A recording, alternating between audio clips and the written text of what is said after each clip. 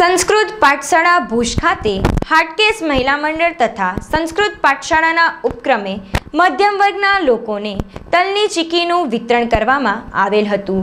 શંકરભાઈ સચદેના આર્થિક સહયોગથી તલની ચીકીનું વિતરણ કરવામાં આવેલ હતું. આ પ્રસંગે શંકરભાઈ સચદે, વિભાકરભાઈ અંતાણી, ત્રિવેણીબેન શુક્લ સહિતના અગ્રણીઓ ઉપસ્થિત રહ્યા હતા.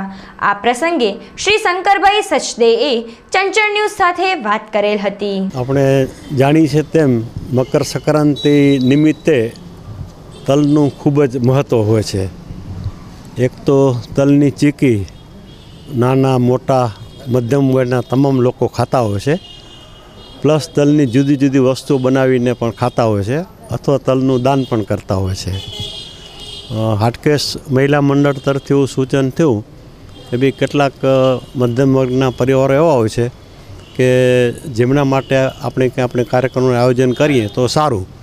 તો ઈલાબેન અને વિભાકરભાઈ એમના સૂચનને માન આપી અને આપણે કાર્યક્રમ રાખ્યો છે, જેમાં આપણે જોયું કે જુદા જુદા જે મધ્યમ વર્ગના ભાઈઓ બહેનો છે, એમની તલની ચીકીનું આપણે વિતરણ કર્યું છે કે જેથી કરીને મકર સંક્રાંતિનો પર્વ એ બધા પરિવારો સારી રીતે ઉજવી શકે. ગણિત ગણિત. આપણે હું તો હંમેશા બધાને કહું છું કે બસ એટલી સમજ મને પરોર દિગાર દે, સુખ જ્યારે જ્યાં મળે ત્યાં બધાના વિચાર દે.